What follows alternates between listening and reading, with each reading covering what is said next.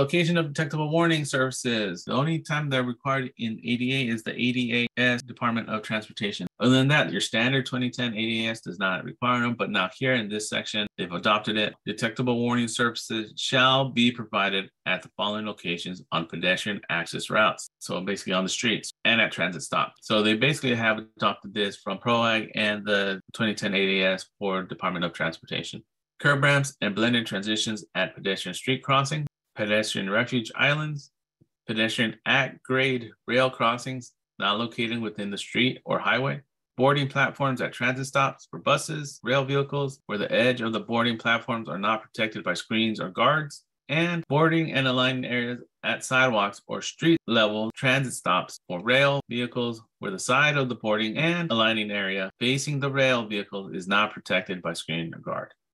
There is an exception for detectable warning surfaces shall not be required at pedestrian refuge islands that are cut through that are less than six feet in length. This cut through is less than six feet in length, so this meets the exception.